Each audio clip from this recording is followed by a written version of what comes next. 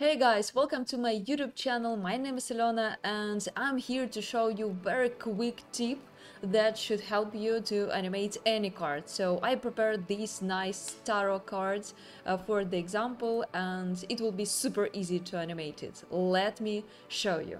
And before we start, as usual, I will ask you to subscribe uh, on my channel and of course drop a comment if you enjoyed this tutorial.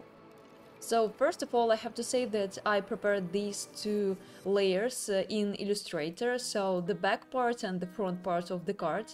I will make them as 3D layer, and also I need to create a new null object.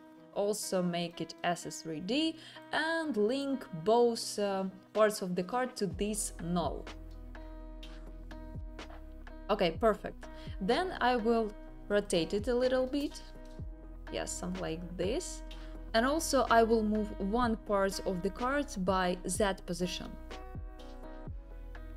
So in this case if you rotate the null you will see that uh, you know the card actually has front part and back part. Okay great. Let's animate uh, our null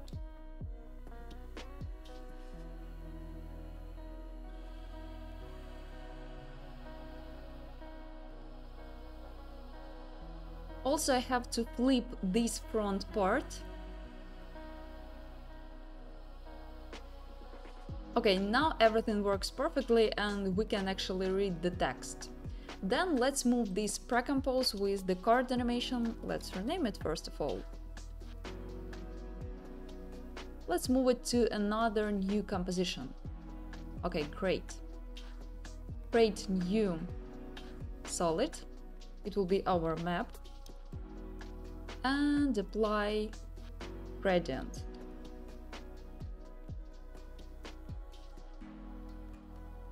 Perfect.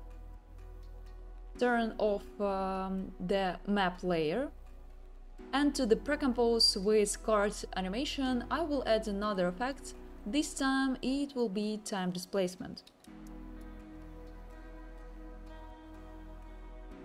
Okay, perfect.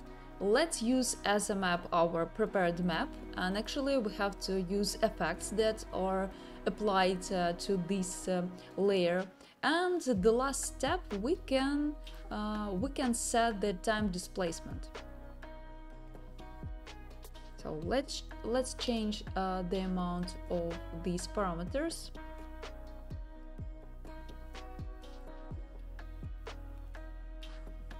and see how everything works. Okay, so we have very nice and very smooth rotation uh, that actually imitates the real card's rotation, so you can experiment with uh, the parameters, make uh, these displacements even more obvious if it's necessary, but I really like this slightly action. So yeah, now the last stage where uh, we can animate it and make the animation even more smooth and add some bounce, bounce animation, so whatever you like, uh, add more details, uh, animate the card inside, uh, inside these graphics I mean, and yeah, just stay creative, but the main principle actually is super simple. So I hope this tutorial was useful for you. Uh, now you found out something new and can apply it in your work. If so, again, let me know in comments. And also I invite you to join my Patreon where you can grab this project file and also get more than 100 project files uh, from my past uh, streams and tutorials. It's super cool, I believe so, because there you can find many useful tricks that personally I use in my commercial projects. Check out the link in the description and uh, select the tier that could work for you the best. And don't forget to follow me on Instagram because there I share more interesting stuff, more private life, more tips and tricks, and also behind the scenes of my commercial project. Thanks for being here, thanks for watching, and see you in the next video. Bye, guys.